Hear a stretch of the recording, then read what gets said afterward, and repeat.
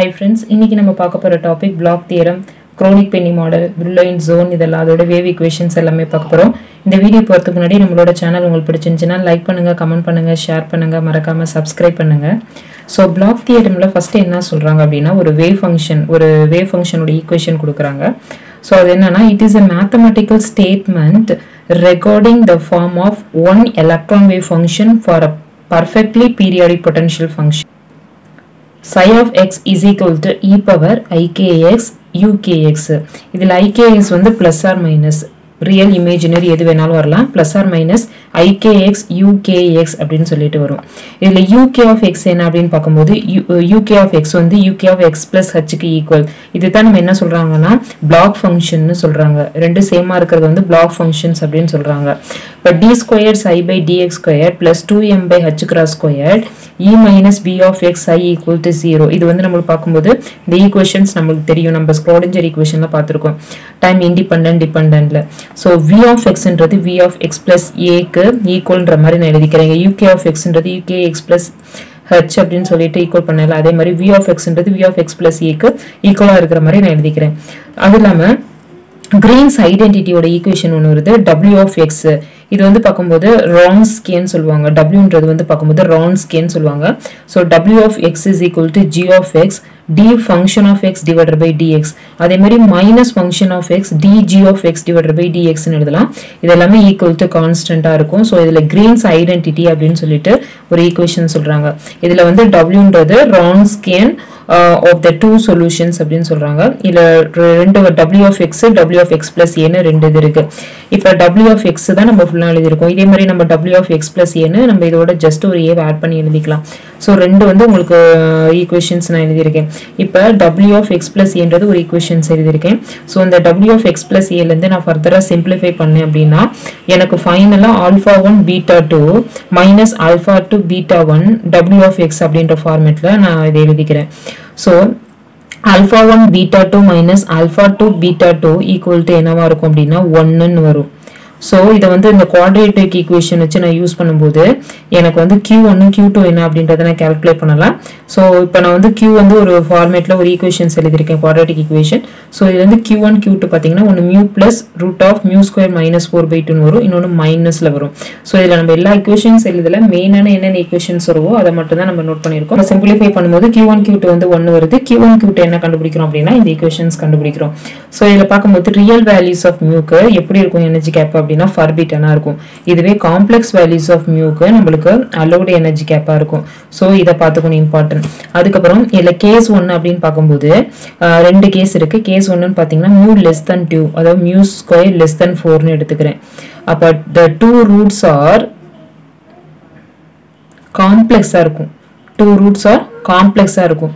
Since q one q two வந்து ஒன்று they will conjugate allowed energy bands இதில் அப்படின்னு சொல்கிறாங்க ஸோ இதில் என்ன two roots are complex they will be conjugate அதே மாதிரி அலோடு எனர்ஜி பேண்ட்னு சொல்கிறாங்க இந்த கேஸுக்கு. இதுவே கிரேட்டராக இருந்துச்சு அப்படின்னா அந்த காம்ப்ளெக்ஸாக இருக்கிறது இங்கே ரியலாக இருக்கும். கான்ஜுகேட்டுன்னு சொல்கிறாங்க இங்கே வந்து reciprocal of each other forbidden energy band அப்படின்னு சொல்லி சொல்கிறாங்க ஸோ ரெண்டு கேஸ் சொல்லியிருக்கேன். ரியல் காம்ப்ளெக்ஸ் எப்படி இருக்கும்? இதில் ரெண்டு கேஸில் வந்து எதுக்கு காம்ப்ளெக்ஸ் வருது? ரியல் வருது அப்படின்றத நான் உங்களுக்கு சொல்லியிருக்கேன். Next Kronig Penney model Kronig Penney மாடலில் one of the simplest example of one dimensional periodic potential has been treated by Kronig Penney model அப்படின்றாங்க. அதாவது நம்ம இதில் என்ன எடுத்துக்கிறோம் அப்படின்னா சிம்பிளான ஒன் டைமென்ஷனல் பீரியாடிக் பொட்டன்ஷியலை தான் இது எக்ஸாம்பிளாக எடுத்துக்கிறேன். ஸோ அதோடைய டயக்ராம் தான் இது. இதில் வந்து பார்க்கும்போது இந்த ஸ்கொயர் வெல் பொட்டன்ஷியல்குள்ளே இருக்கிறது பின்னு எடுத்துக்கிறோம். அதுக்கு வெளியில் இன்பிட்வீன் ஸ்கொயர் கடையில் உள்ளதை நம்ம ஏன்னு எடுத்துக்கிறோம். ஸோ இது வந்து பார்த்தீங்கன்னா ஏ இதுக்குள்ளே இருக்கிறது வந்து பார்த்திங்கன்னா நம்ம பின்னு எடுத்துக்கிறோம். ஸோ இதில் வந்து நம்ம கண்டிஷன்ஸ் இருக்குது zero less than s less than a இதில் d square psi by dx square plus two m by h cross square is i equal to zero அப்படின்னு சொல்லிட்டு வருது. இதுவே d square psi by dx square plus two m by h cross square e minus b zero சைன்னு எதுக்கு வருது? Minus B to zero உள்ளதில். இங்கே zero வந்து equal to we அதாவது வி வந்து ஜீரோ இங்கே வந்து வி வந்து equal to v naught so இது வந்து ஆல்ஃபா ஸ்கொயர் என்னன்னு எழுதியிருக்கேன். பீட்டா ஸ்கொயர் என்னன்னு எழுதியிருக்கேன். ஸோ இது ஆல்ஃபா ஸ்கொயர் இது பீட்டா ஸ்கொயர் ஸோ பி அப்படின்றது குவான்டிட்டி பி அப்படின்னு பார்த்தீங்கன்னா beta squared a b divided by two அப்படின்னு சொல்லிட்டு வரும். ஸோ இதை நான் எப்படி எழுதலாம்னா two m v naught a b by two h எழுதலாம். இல்லாட்டி m v naught a b by h cross ஸ்கொயர்டுன்னு எழுதலாம். ஸோ இதெல்லாம் மெயினான ஈக்குவேஷன்ஸ் எழுதியிருக்கேன். இதெல்லாம் நல்லா பார்த்துக்கணும். ஸோ வி நாட் வந்து இன்ஃபினிட்டிவ் வி நாட் வந்து இன்ஃபினிட்டிவ் பின்றது பார்க்கும்போது மெஷர் பண்ணுது. த குவான்டிட்டி வி நாட் பியை மெஷர் பண்ணுது which is the area of the potential barrier அப்படின்னு சொல்கிறாங்க ஸோ இதில் என்ன பண்ணுறோம் அப்படின்னா பி நாட் பி குவான்டிட்டியை மெஷர் பண்ணுறோம் which is the area of the potential barrier பின்றது which is the area of the potential barrier சொல்கிறாங்க இதில் ரெண்டு கண்டிஷனாக உங்களுக்கு நான் பிரிச்சிருக்கேன். ஃபஸ்ட்டு பி வந்து இன்க்ரீஸ் ஆகிற மாதிரி.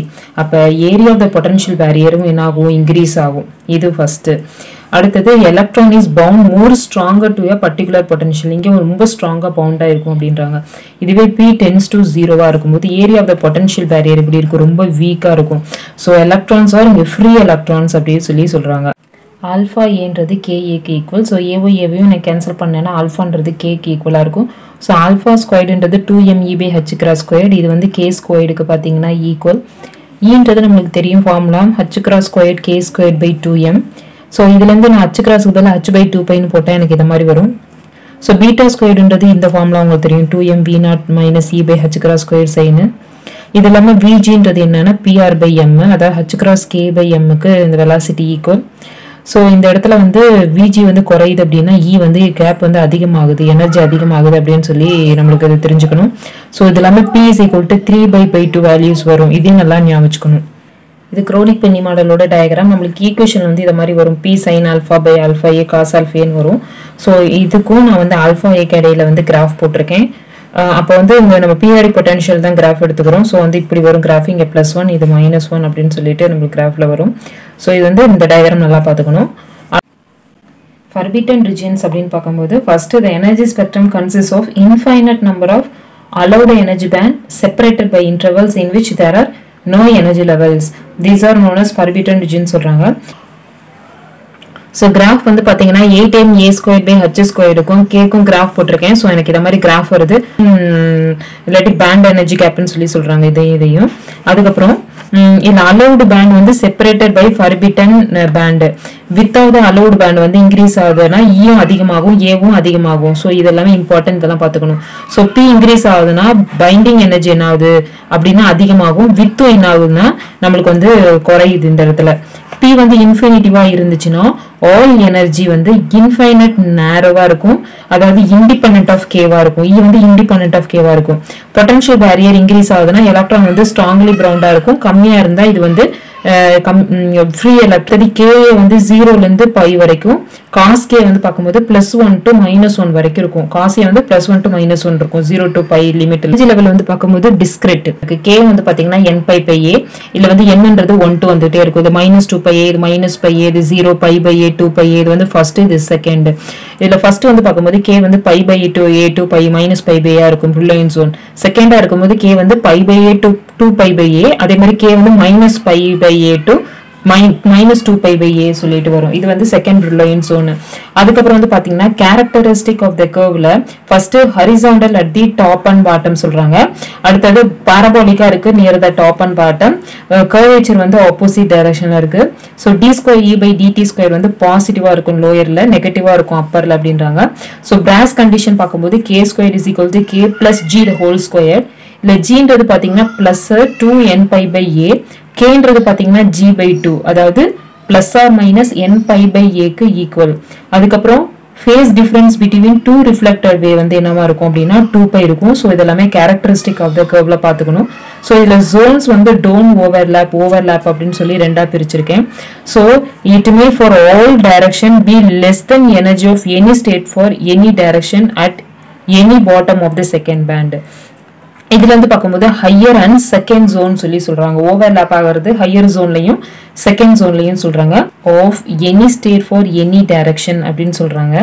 சிக்ஸ்த் பாயிண்ட் பார்த்தீங்கன்னா the total number of possible wave function in any in any energy band which is equal to the number of unit cell so இந்த இடத்துல number of possible wave function வந்து equal to the number of unit cell அதாவது என்ன அப்படின்னா சையும் என்னும் same the total number of possible wave function in any energy band which is equal to the number of unit cell அதாவது சையும் என்னும் same அப்படின்னு சொல்றாங்க higher order zone become complex அப்படின்னு சொல்கிறாங்க